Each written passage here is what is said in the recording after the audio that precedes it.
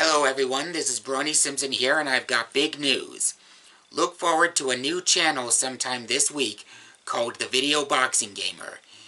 It'll be a channel where I not only talk mostly about video games and the memories I've had with the ones I grew up playing, but it will also be a channel where I upload new cartoon videos and stop motion videos.